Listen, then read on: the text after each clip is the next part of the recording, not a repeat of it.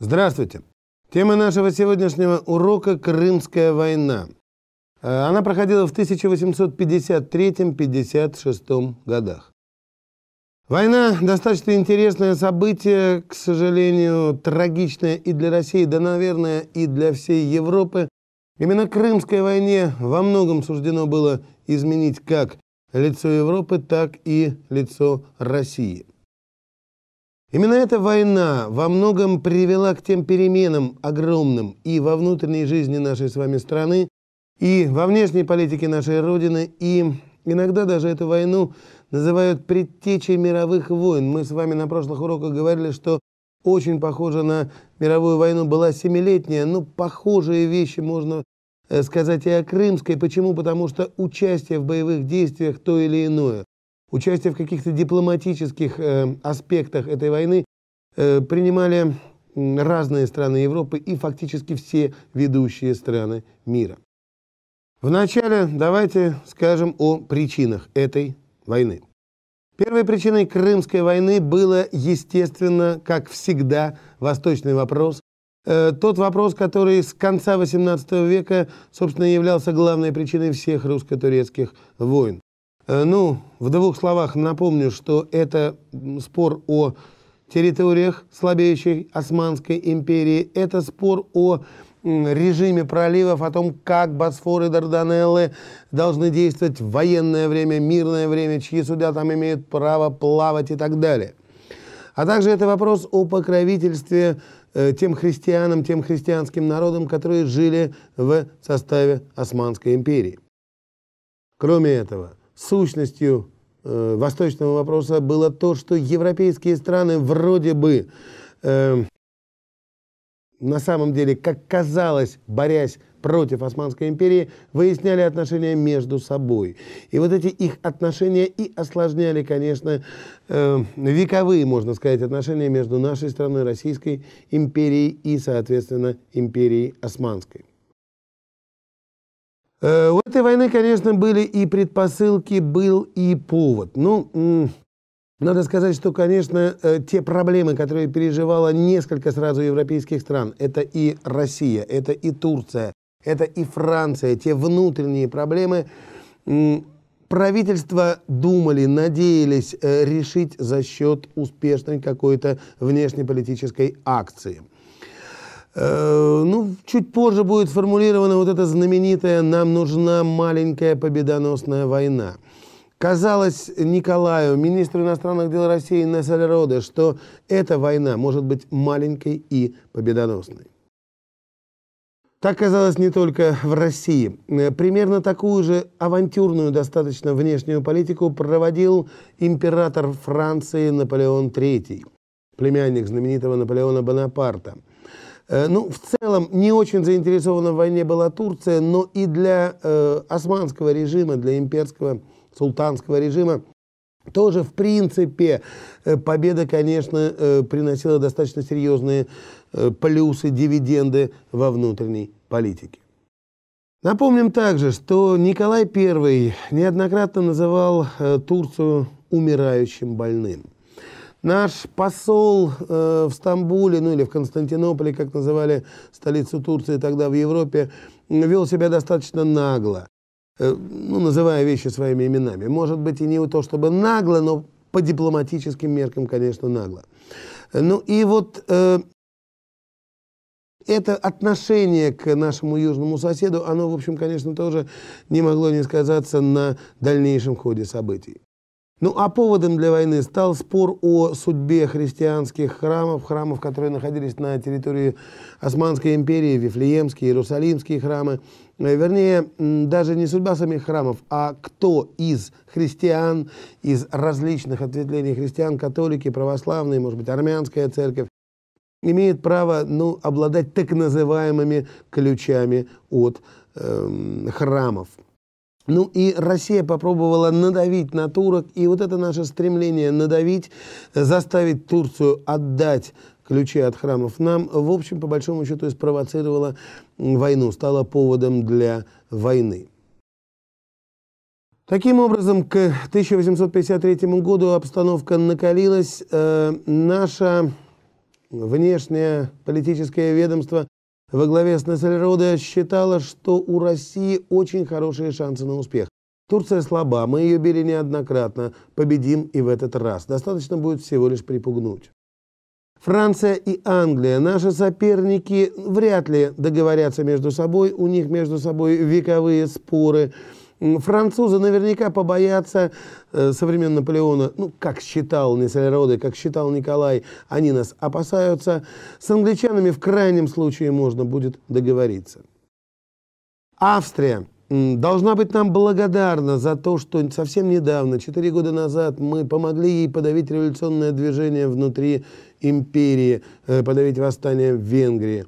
Ну а с Пруссией нам, в общем, по большому счету делить нечего. Более того, Пруссия, возможно, наш союзник по борьбе с революцией и так далее. Соответственно, у нас все получится. Вот такие внешнеполитические расчеты э, выдавал министр иностранных дел Нессель Роде. Ну и, соответственно, выдавал это же примерно и Николай. Ну, о том, почему стала возможна такая ошибка, почему э, и Николай, и Несайроде так ошиблись в э, своих расчетах, наверное, имеет смысл поговорить подробнее. Война начнется в 1853 году. Э, формально юридически начнет ее не Россия. Э, российские войска, правда, перейдут э, Дунай и войдут на территорию дунайских княжеств. Э, соответственно, Молдавия, Валахия. Э, ну и, э, в общем, формально мы войну не объявляли, да, но наши войска перешли границу. Турки в ответ предъявят нам ультиматум и принципе, Николай, увидя реакцию в Европе, увидя, что и Англия, и Франция, и Австрия, и Пруссия явно не одобрили эти наши действия, готов был уже войска, в общем-то, выводить из Дунайских княжеств, ну или, по крайней мере, идти на какие-то переговоры. Но маховик войны был уже запущен. Турецкое правительство, получив поддержку от французов, от англичан, само объявляет войну России и в 1953 году боевые действия начинаются. Первым театром боевых действий станут Дунайские княжества. Э, война там будет вестись достаточно так, ну, вяло, скажем. Ну и э, Черное море – это второй театр боевых действий. И третьим театром э, боевых действий был Кавказ. Итак, боевые действия в Валахии, Молдавии продолжались с переменным успехом. И хотя в целом российские войска, ну, можно сказать, одерживали победы, но каких-то таких э, реальных, э, судьбоносных, что называется, побед одержано не было. Зато блистательная победа, одна из самых ярких побед в русской истории, состоялась 18 ноября 1853 года э, в Синопской бухте. Адмирал Нахимов э, разгромил, что называется, на голову э, флот Османской империи. Все турецкие корабли были ну, или потоплены, или сильно повреждены, или взяты в плен э, вместе с командующим турецким флотом, который тоже, в общем-то, попал в плен. Победа в Синопском бою – это одна из наиболее ярких побед э, нашего оружия. Начнутся также боевые действия и на Кавказе.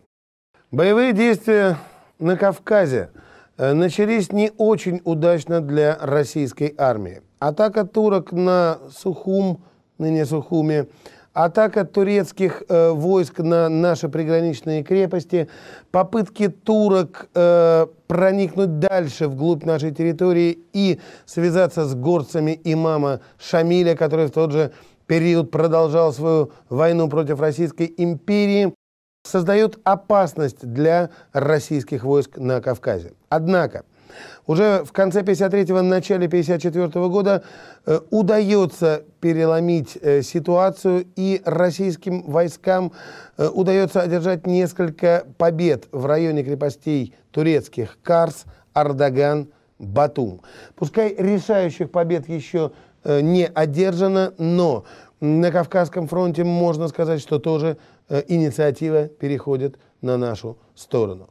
Э, в марте 1954 года Англия и Франция объявляют России войну.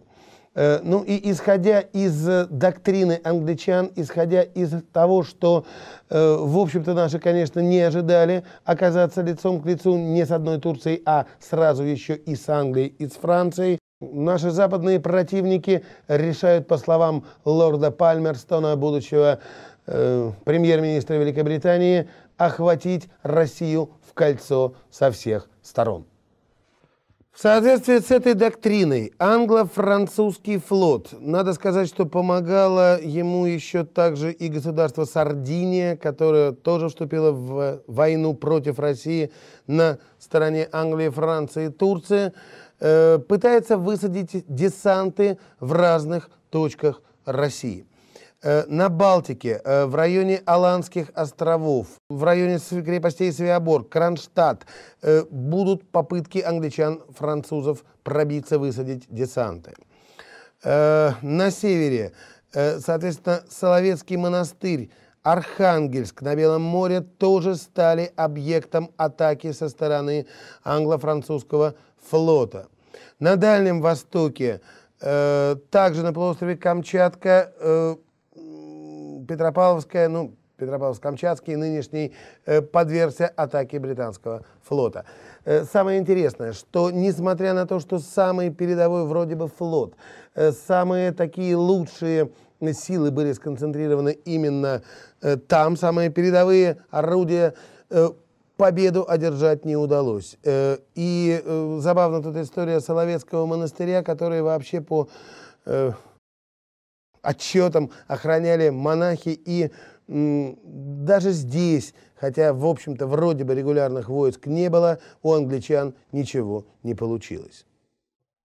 Неудачи на севере, неудачи на Дальнем Востоке заставили Англию, Францию обратить внимание вновь на э, Дунайские княжества, на Черное море и, соответственно, на Крым, полуостров, в честь которого, собственно, и получила название данная война. Обращение России к союзникам, возможным нашим, Австрии и Пруссии, не дали результата. Более того, и Австрия, и Пруссия э, дали понять, что э, они не поддерживают Россию в этой войне и выступают за сохранение территориальной целостности Османской империи.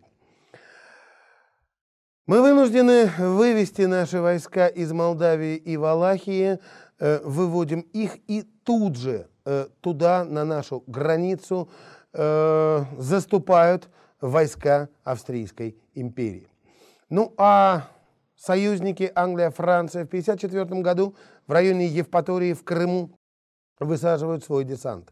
Это у них получится.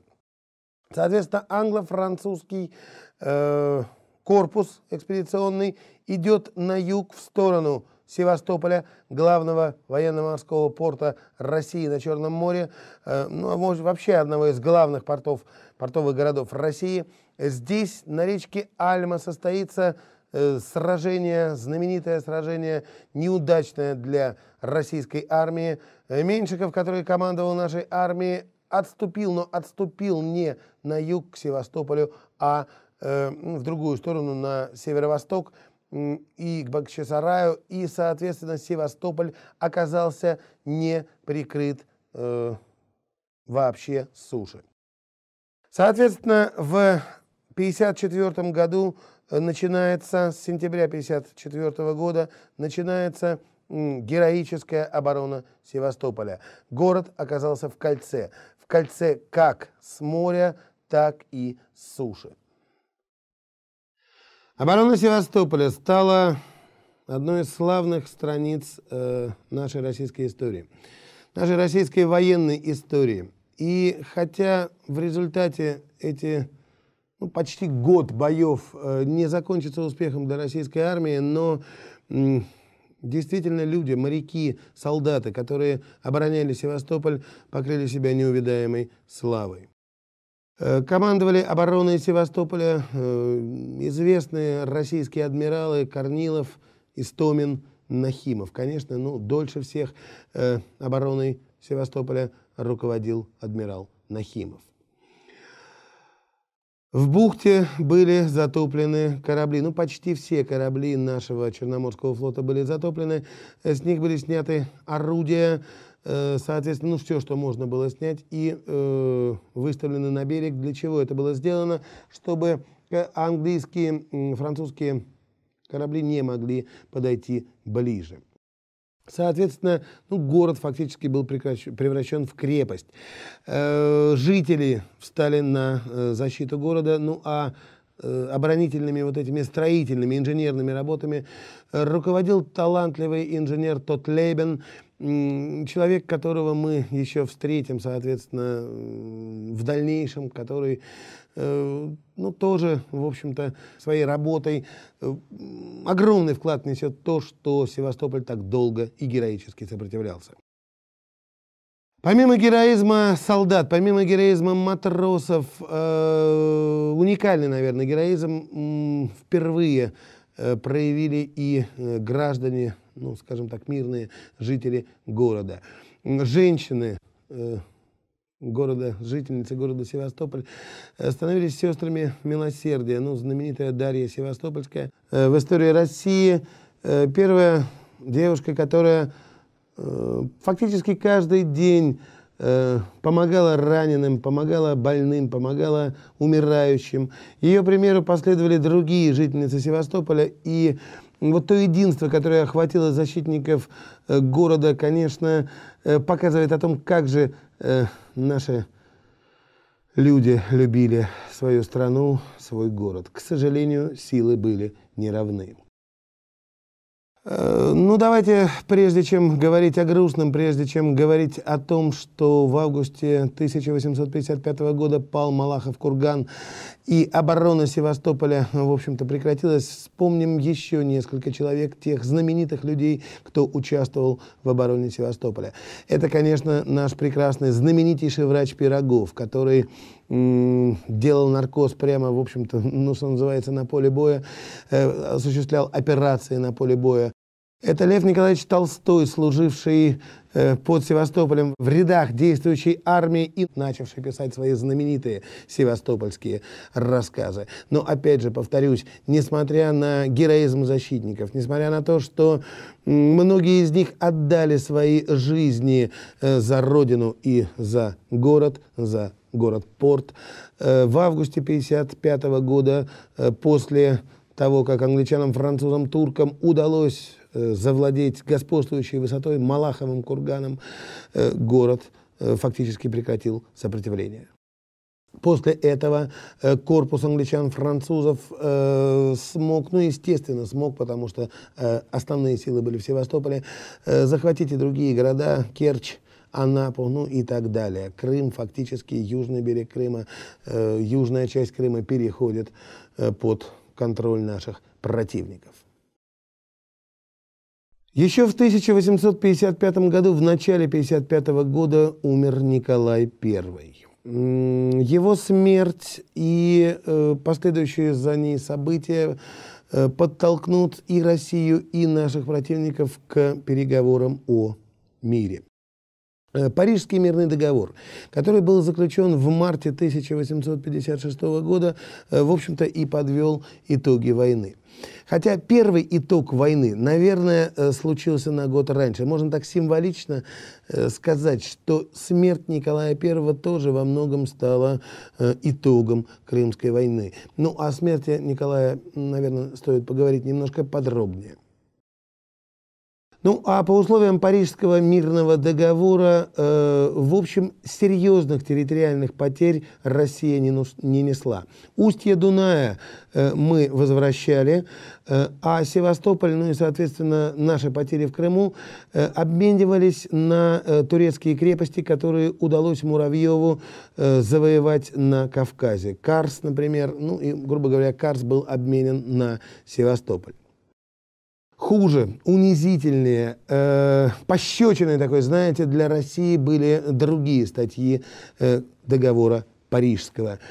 Черное море объявлялось нейтральным. То есть, э, вроде бы формально ни одна страна не имеет права держать там военный флот, э, ни одна страна не имеет права иметь там военные порты. Но и Турция, ну и тем более другие страны, о них вообще речи не идет, имели возможность, ну там я имею в виду Англию, Францию, да, у которых были э, другие военные порты совершенно на других морях и океанах, могли, естественно, иметь их в другом месте. Для России это было, конечно, э, ужасно, да, то есть наша южная граница фактически э, оказывается беззащитна, да, и без флота военно-морского, ну, он и так, правда, покоился на дне уже к тому времени, ну, и, соответственно, военных портов мы тоже не могли иметь. Более того, те христианские народы, которые определенную автономию уже получили, речь идет о Сербии, Черногории, э, вновь возвращались под более плотный такой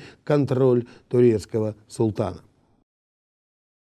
Ну и в конце давайте, конечно, скажем о причинах поражения войны, хотя о главной причине поражения вполне стоит, э, наверное, сказать э, отдельно, ибо историки спорят о том, какая же все-таки причина э, нашего поражения была главной. Практически все говорят о том, что в первую очередь сказалось военно-техническое, технологическое, если угодно, преимущество англичан-французов. Э, хрестоматийный пример, вы все наверняка помните его еще из э, курса восьмого класса, что англичане обладали нарезными оружиями, которые стреляли там на 500 шагов, а наши гладкоствольные стреляли на 200. У англичан был паровой флот, у нас кроме нескольких кораблей, в общем-то, э, его не было. Помимо этого, техническое превосходство выражалось также в том, что у России не было, естественно, ну не естественно, плохо, что у нас не было железных дорог, которые э, ведут на юг. Фактически была м, оборвана связь транспортная м, с Крымом, с Севастополем, и, э, соответственно, вообще транспортная ситуация в стране была такой, помните, две беды, дороги и сами знаете кто. Вот. Так вот, транспортная ситуация была такой, что наладить подвоз э, обмундирования, патронов, снарядов и так далее э, в армию, действовавшую в Крыму, было практически невозможно. Но все равно это все не объясняет, наверное, э, то, почему Россия проиграла. Дело в том, что э, и не очень стремилась наша власть, Николай I, ну а потом Александр, перебросить существенные силы на юг.